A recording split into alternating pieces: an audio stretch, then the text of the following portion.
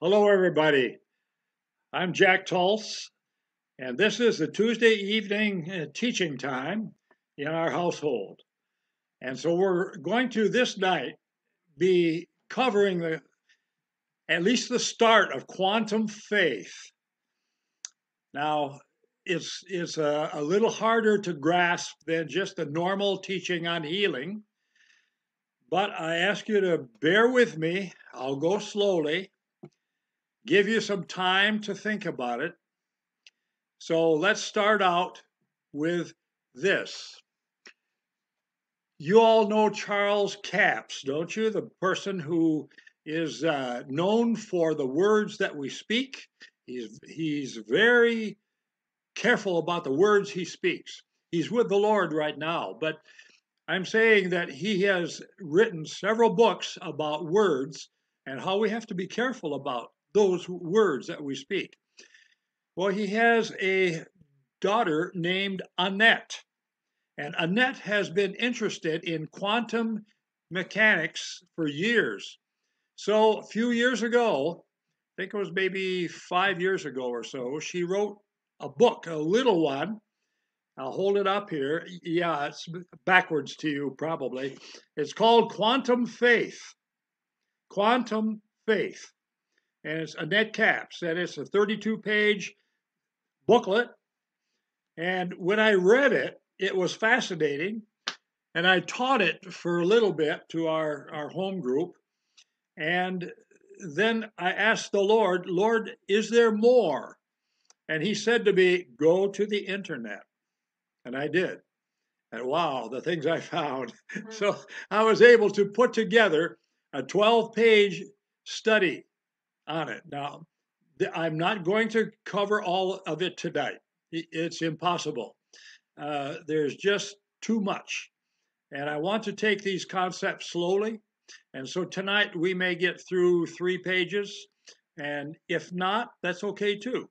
Because I want you to catch on to this, grasp this, because it has very great significance to your Christian walk, to your health, to the miracles that you will receive if you use this.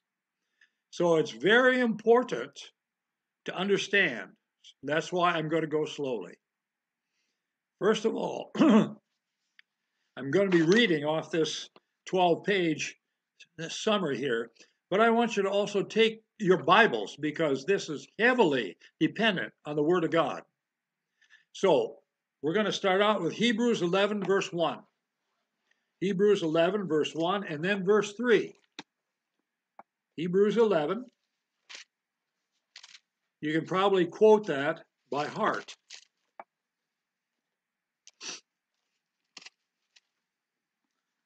Here it is. Now faith is the substance of things hoped for, the evidence of things not seen. So it says faith is a substance. It's not nothing. It's something. Over in verse 3, it says, Through faith we understand that the worlds were framed by the word of God, so that things which are seen were not made of things which do appear. Now, folks, I want to read this in this manner. The first words are through faith, we understand. That doesn't mean that we believe by faith. No, no. Through faith. Then we understand that the worlds were framed by the word of God through faith. God used faith to frame the worlds so that things which are seen were not made of things which do appear. So this doesn't have a thing to do with our faith, it has to do with his faith we could also say that we understand that through faith, God framed the word, the world. That's the intention of that, that scripture. And so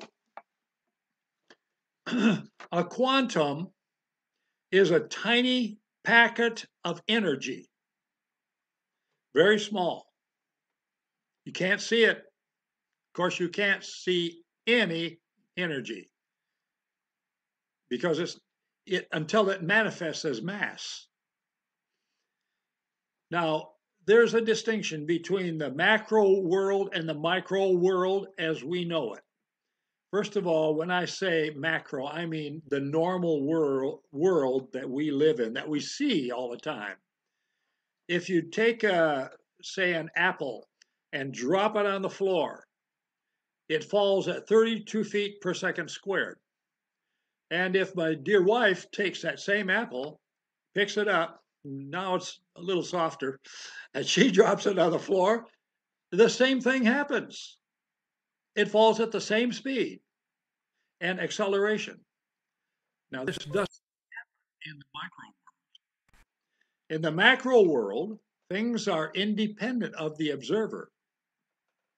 Independent. In the micro world, they are not. Think about that a little. Now, let's just supposing, you know, you've had one of these Rubik's cubes, probably. You play with that. Maybe 30 years ago that came out.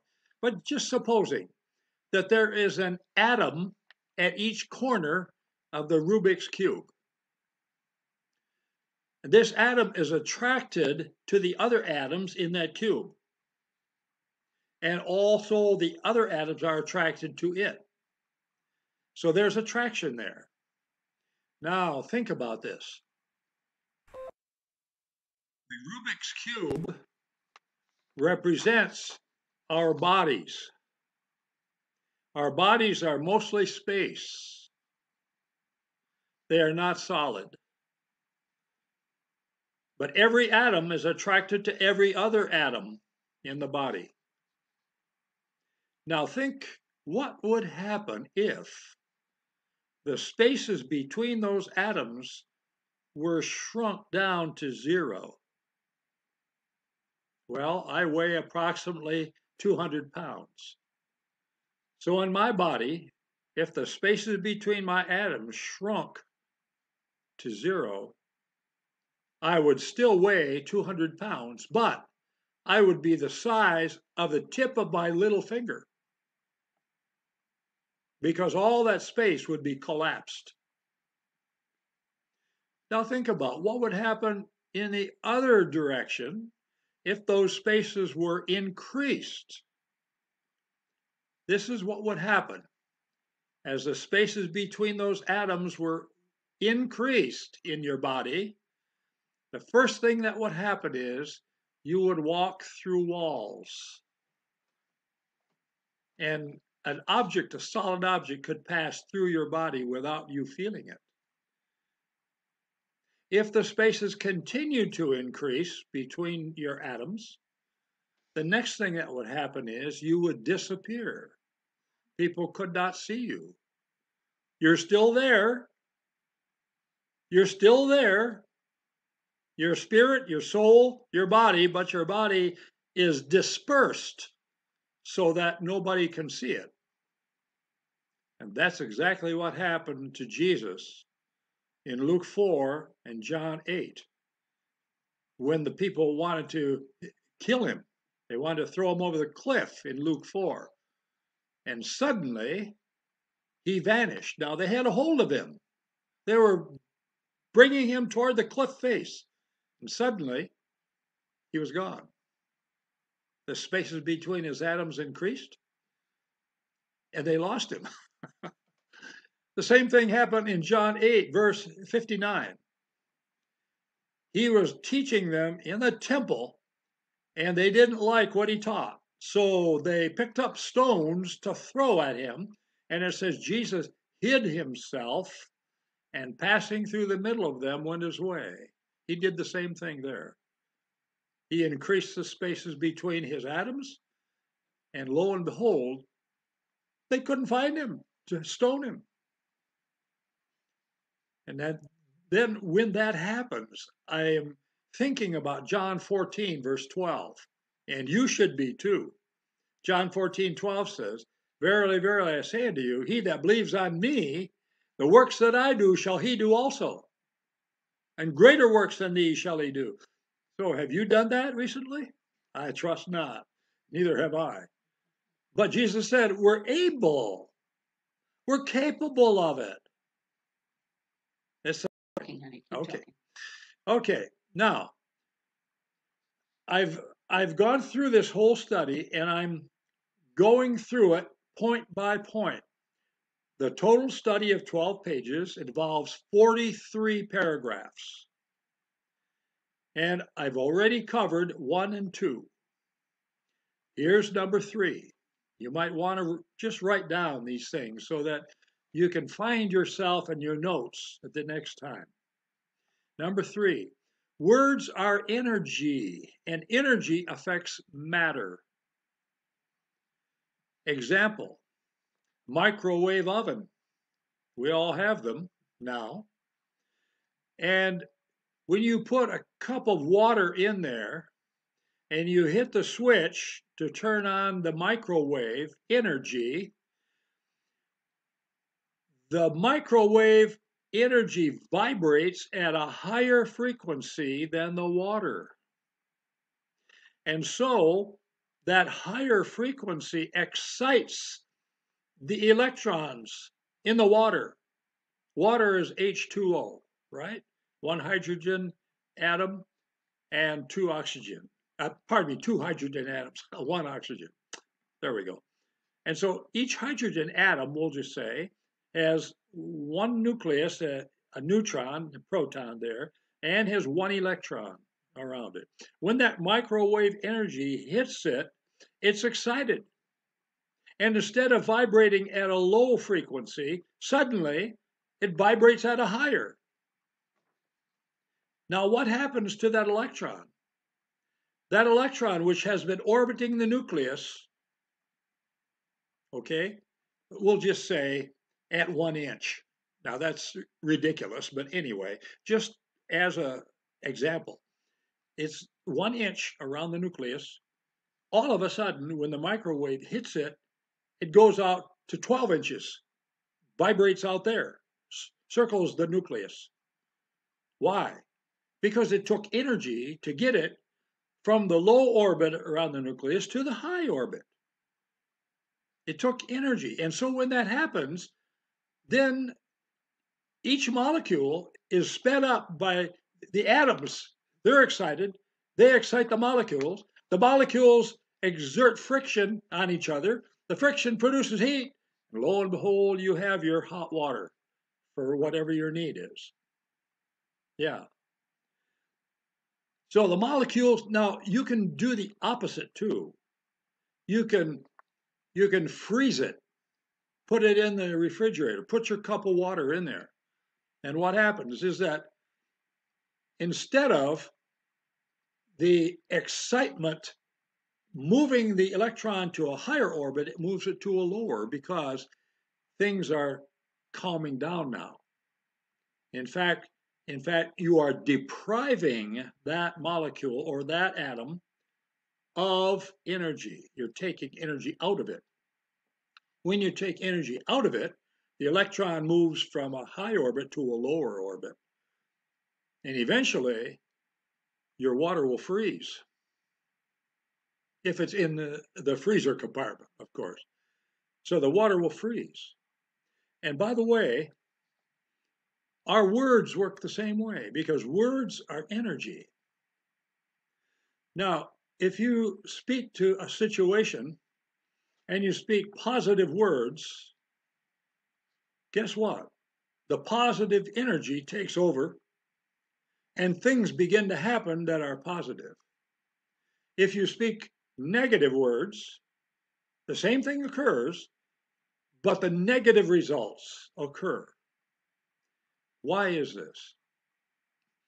Because, folks, I'm going to give you two principles of creation here that God God created. And I'm going to use the term the old creation because God is recreating by his power. And we are recreated spirits. We're the new creation. The Bible speaks about that in Ephesians and in Colossians. We're the new man. Man not gender related at all. New mankind. We're new. As a spirit man, we're new. There never was one like us before. That's the new creation. So you'll understand when I speak of the old creation that I'm talking about the original creation with Adam and Eve and the animals and all that. Okay. So, in the old creation, which God spoke into being with his vibrating voice, he called something that wasn't as though it were, and it became. Now, a living God doesn't make dead things. A living God makes living things. This is principle number one. God made everything alive. He made the stones alive. He made the soil alive. He made the animals alive.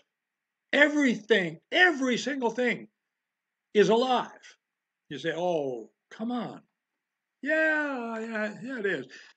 I can prove it to you from the Word of God. Over in 1 Timothy chapter 6, verse 13. 1 Timothy 6, 13. I found this a while ago and it really thrilled me. It, it just made good sense in the light of quantum mechanics. It says, this is the word now. Fight the good fight of faith, that's verse 12. Lay hold on eternal life, unto which also you are called, and have professed a good profession before many witnesses. Verse 13, here it is. I command you in the sight of God, who makes all things alive, and before Christ Jesus, who before Pontius Pilate witnessed a good confession. God made everything alive. Everything. Now, principle number two, he made everything responsive to faith. Because God lives by faith. Jesus lives by faith. You say, well, he doesn't need to. He can do anything.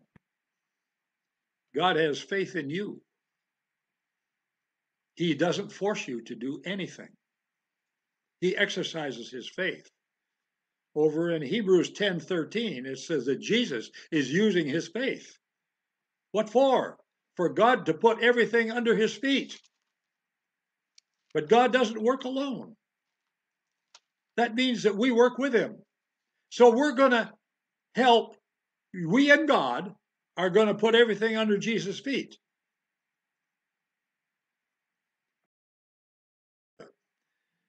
That's a new thought, probably, to you. Number four. We are created in God's image, it says over in Genesis 1, verse 26 and are creative because he is creative.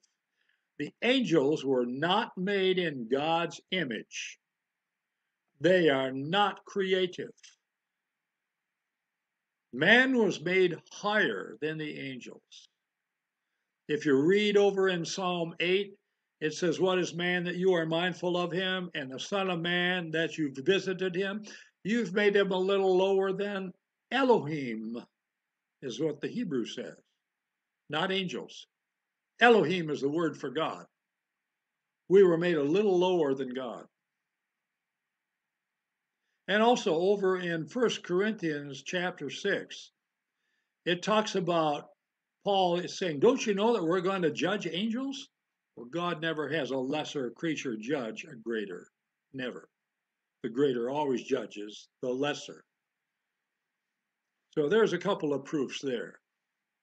So if we're made like God, a little lower than God, we are we are creative in nature. And I think no one will dispute that because there are creative arts, creative sciences. A hundred years ago, no one knew anything about nuclear physics. But today, that's a science. It's a great science. And then hundreds of years ago, during the Renaissance, Michelangelo painted the ceiling of the Sistine Chapel. That was a mighty creative work. So we are made like God in that respect. We have His creativity in us. All right, now let's discuss the behavior of the micro world. We discussed the macro. Now we're going to discuss the micro world. Now, supposing that we have a cloud of hydrogen atoms, hydrogen gas, the atoms. Okay, now we're going to take a microscope, an electron microscope, and look into that cloud. At first, we see you can't see a particle in there at all. It's they exist, the electrons are there in a wave form. They aren't a particle. So you see nothing until you observe it through the microscope. And then you see the particle appear. Each atom has an electron, and each electron is a particle now. It's in particle form. Now you might ask me the question, well, Jack, how does it know it's being watched? Good question. Good question. it's alive. It's alive. That's how it knows it's being watched. But now, supposing you take another observer and he looks through that electron microscope and he sees the particle also, but it's behaving differently for him. It's not behaving the same, it's changing its orbit. Whereas the first man saw it in one orbit, the second man sees it in a different one. Why? And if you bring a third person along, it'll be still different. Why is this? That's funny behavior. It's because the behavior of the electron depends on the observer. Could it be that the observers have different kinds of faith? Ah, one has more faith than another, one has lesser faith. And so the electron responds to the faith of the observer. That's interesting. Remember, God made every particle in this universe responsive to faith. Now, I'm not I'm not speaking only of electrons. I'm speaking of sub-electron particles, so tiny that they're called quarks and muons and gluons. Those things that we never learned when I was in, in high school or college because that was still in the future. And so these are the smallest things now, but they respond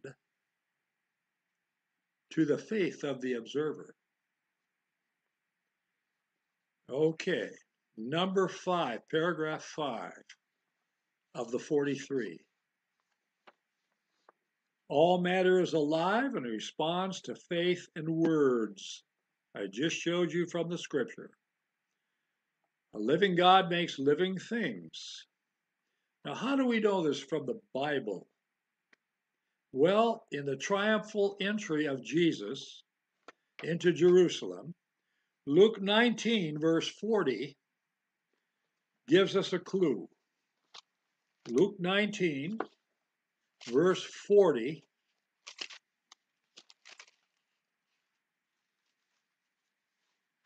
Says the following And he answered, that's Jesus, and said unto them, I tell you, if these should hold their peace, talking about the children, the stones would immediately cry out. I didn't think stones cried out. but the Lord says they're living, they can cry out. Now, you might not be able to hear them, the frequency might be too high for our ears to hear, but they would cry. They'd cry out. Remember the stone of witness that Joshua put up in Joshua chapter 24, verse 27. You don't have to turn there, but just note down the reference. He said, This stone has heard all the words of the covenant that you've made with God. this stone has heard. So stones can cry out and they can hear. How about that? Wow. Over in Isaiah 55, verse 12, it says, The mountains and the hills will shake their hands. Yeah. It says they will run, you know. And eh, let me just quote that Isaiah 55, verse 12. These things are fascinating, folks. They're in the Word of God, and we never thought about this earlier. Isaiah 55, verse 12. It says, For you shall go out with joy and be led forth with peace. The mountains and the hills shall break forth before you into singing, and all the trees of the field shall clap their hands. Wow. it's amazing, isn't it? Because they're living, they aren't dead, they're alive, just like you're alive. Okay, let's go on. The Word of God in Hebrews 4:12 says that the Word of God is living and powerful and sharper than any two-edged sword, piercing even to the dividing asunder of soul and spirit and of the joints and marrow, and is a discerner of the thoughts and intents of the heart. So the Word of God is alive. The Word of God's alive. Yeah. Before you. The Word of God in the Bible doesn't have power. But when you take that word and you put it in you and you speak it, it has power, great power. Amen. Great power and authority. And it's living and it will accomplish Amen. what you say. Hallelujah. Amen. Paragraph 7. A redeemed person, I'm talking now about the new man, is a king and a priest unto God. How does a king rule? Now, this is found in Revelation 5, verse 10. I won't read it to you. But a king rules in one way by words. He speaks words. And the words that come out of his lips become laws in that land. That's how he rules that land by words. Words have energy and they change situations. Number eight, thoughts and beliefs produce an aura around us. Oh, oh, Jackie, you've used the wrong word. That's new age stuff. Don't you know better than that? they stole it from us. it's originally ours. It produces a zone of influence around us. We call that an aura. And your thoughts and your beliefs produce that. And other people notice it. If you, believing in the Lord and trusting in Him, born again, if you walk into a bar somewhere, heads are going to turn. They feel that someone has walked in that is not of their zone of influence, is not like them. It's because we carry that aura of the Lord with us wherever we go. Hallelujah. Amen. Amen. Paragraph 9. Things obey words.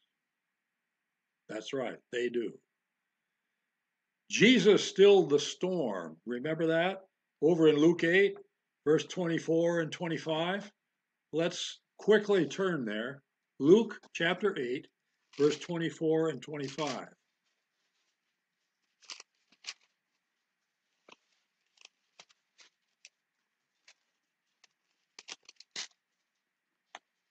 Here it is. And they came to him, that's the disciples, and awoke him, saying, Master, Master, we perish. Wow, those are bad words. We're going to die. Do something. Then he arose and rebuked the wind and the raging of the water, and they ceased, and there was a calm. Then he turned to them, he said to them, Where is your faith? In other words, they could have done it. Why did they wake him up? He needed his sleep. That's what he was really saying. You could have done this. Why didn't you? Where's your faith? Yeah. Another example from our time. I'm going to tell you this, not in a boastful manner at all, but this happened to me in 1998.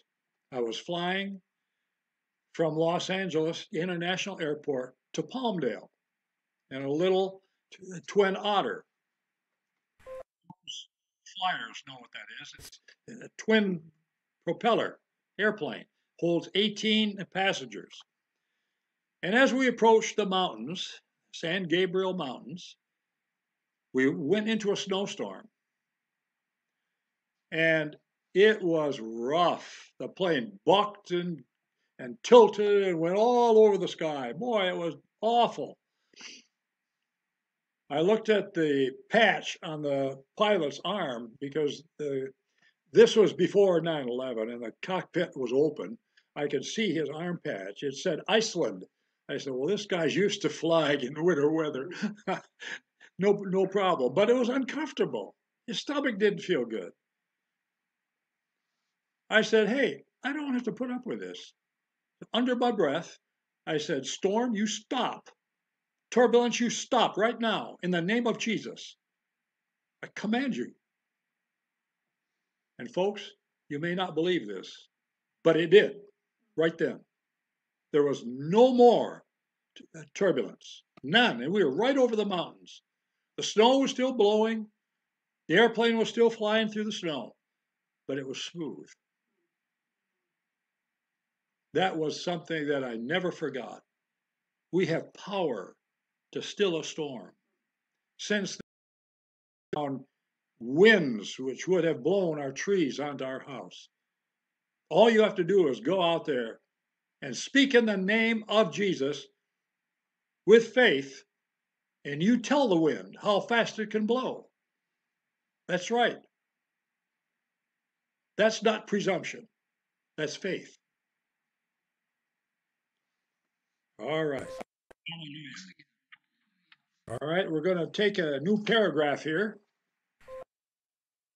Paragraph 10. Every object has its own frequency of vibration. It is not solid. Your, your dining room table has a frequency of vibration, and it's composed of all these little subatomic particles all vibrating themselves at their own frequencies. And when you combine all those frequencies, then you get the table vibrating at its frequency. That's the frequency of the of the macro, the big table. Paragraph 11. Think now. God's words are the highest frequency spoken in the universe. God's words are the highest frequency. That means they have the most power, the most energy, because energy depends on the frequency it's spoken at. A low frequency energy doesn't have much power. But as you move up the spectrum, a spectrum is a is a line which depicts the power of different things like sound and light and x rays and gamma rays and the kingdom of God. Going from low frequency to high frequency. Are you following this? Think of the line, a spectrum, and think of over here low energy, that's sound.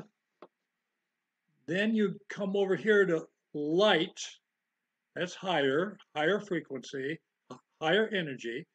Then you go over here to X-rays, that's still higher. Then you go over here to gamma rays, and I'm off the screen. then you go over here to the kingdom of God. That's the highest. And when God speaks, it's the most energy of all. It's the highest. You can say, oh, yeah, but we can't do that. Listen, Jesus made it possible for us to speak God's words. We can speak God's words. And the same thing will happen when we speak them with faith that happens when God speaks them. Because those words are in the spiritual realm. And the spiritual realm has dominion over the natural realm. The spirit of man has dominion over his body. You have dominion over your body, especially the new creation man.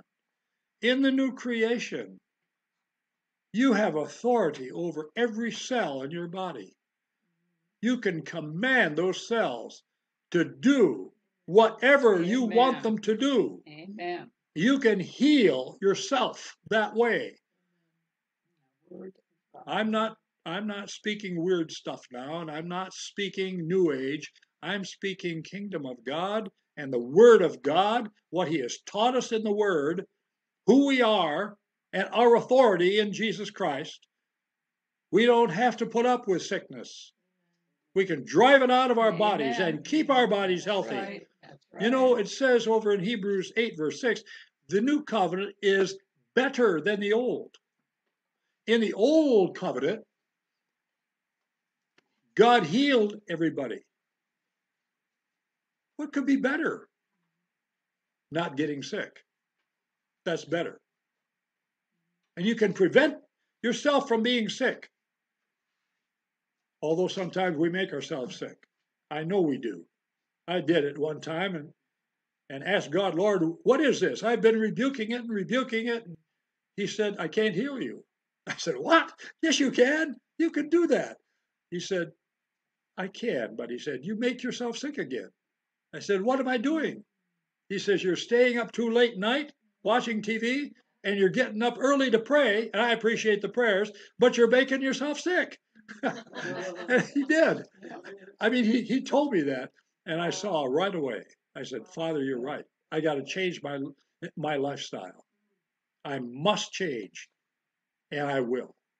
This day, I'm going to change my lifestyle. Then I said, Sickness, get off my body. And it did right away. It was gone. I felt healthy and strong. I wanted to eat right away. So, this is just one way that you can keep yourself healthy. So, God's words are high frequency, they're highest of all. Paragraph 12. We're moving on, as you can see. I want to draw an analogy, a likeness between the kingdom of God and the natural kingdom as satellites of the earth. That's right. Here's the earth, my fist. All right? This is my fist.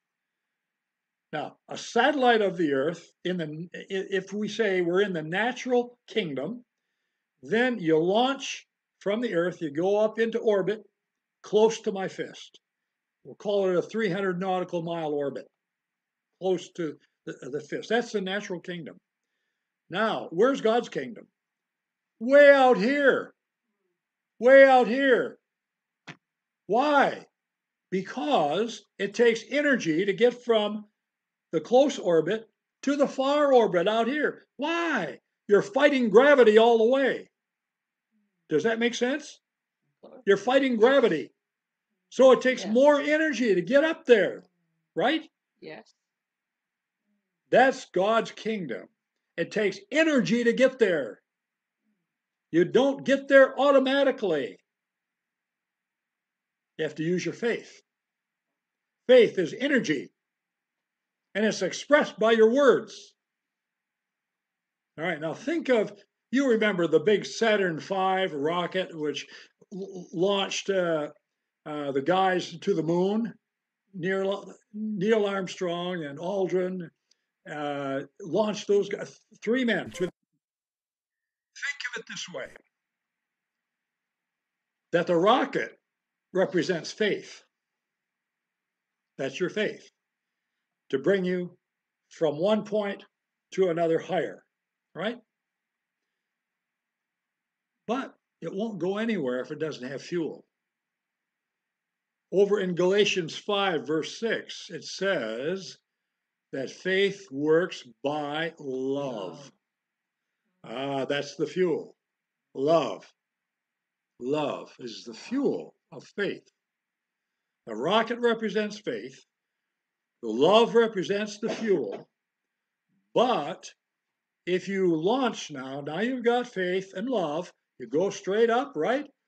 What would happen if you you launched the Saturn V straight up? Way up there. You know what would happen? Come straight down. Why? You need guidance to guide it into an orbit parallel to the Earth, parallel to the surface of the Earth. That's the Holy Spirit.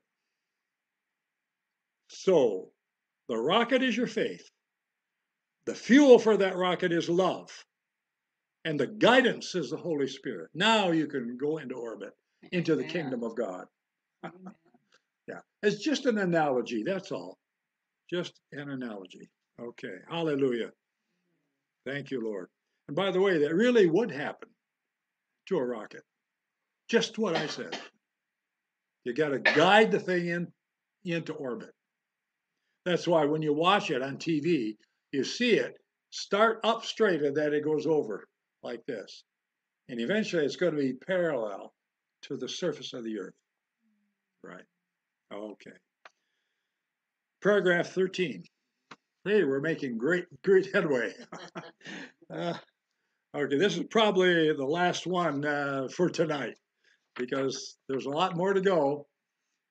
43 paragraphs, but uh, very interesting stuff because you can see it goes right to your your Bible, the, the Word of God, and the Word of God is personified in this. Here we go. In the subatomic arena, there are only possibilities and probabilities because before you look at these little tiny particles, before you look, they're just a mass. I mean, they are not particles, they're in waveform. It's like you're looking at a cloud. You can't see a thing in a cloud, like in a fog. You drive your car in the fog, you can't see anything, right? That's how it is. Anything is possible in that cloud. Anything. Jesus said, Mark 9 23, if you can believe, all things are possible to him that believes.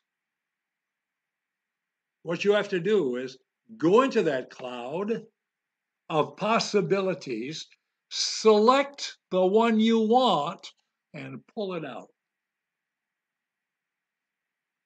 Think about it. Go into the possibilities cloud, select the one you want, and pull it out and speak it into existence. That's not weird.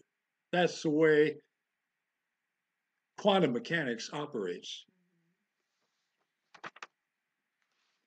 All right, let's spend just a couple minutes more. Paragraph 14. Where does hope exist?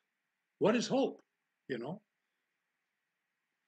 Well, if you can think of this, again, I'm going to use my fist. This time it's going to represent my spirit, my spirit inside my body. All right, and around it is my soul, which is my emotions, my will, and my intellect, my mind. That's around it. And then around that is my body, which you're looking at. That's my body. So we got a threefold. We're created in threefold, right? A body, a soul, and a spirit. Okay. Now, hope requires patience. Hope is of the soul, is of the soul. But faith is from your spirit, the inner man. the inside man. That's what generates faith. Hope is of the soul. Right? Okay. Faith is of the human spirit. Uh, let me give a, some scripture on that. Hope is of the soul, Hebrews 6 19. Hebrews 6, verse 19. Now, hope isn't wrong. You must have hope. Right? The Bible says that faith is the substance of things hoped for. So, hope is built by faith. right. So, hope isn't wrong. You build hope with your faith. It's just like um, if I can use the picture of a new house being constructed, right? The blueprint for the house is hope, right? Now you go and you buy the materials and you stack them up. That's faith. It costs you something. Faith costs you a lot, right? Now you can take that plan of hope and you can build with the materials. Okay, hallelujah. Well, we'll cover more on this same thing next time, but next time is going to be a couple of weeks away. And uh, uh, my dear wife probably would like to also continue teaching on uh, on healing it's all part of the kingdom of God. We're teaching kingdom here. This is kingdom of God 101. Who we really are in Christ, what we can do in Him, and how we see the world in Him. We should be walking like Jesus in the earth.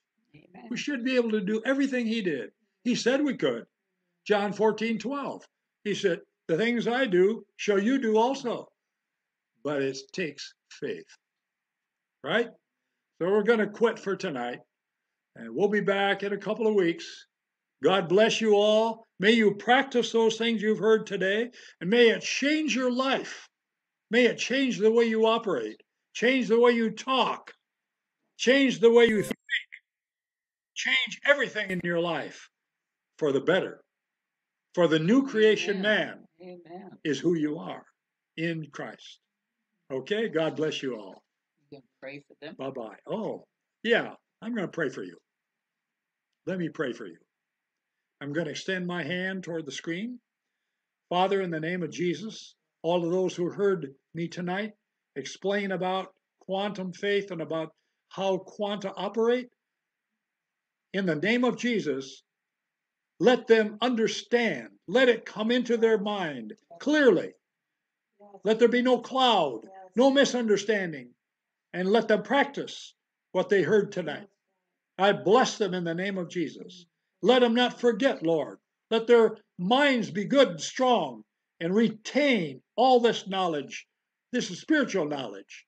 In the name of Jesus, I pray for you, and you are blessed. Who I bless is blessed in Jesus' name. So good night. Hallelujah. Amen. Hallelujah.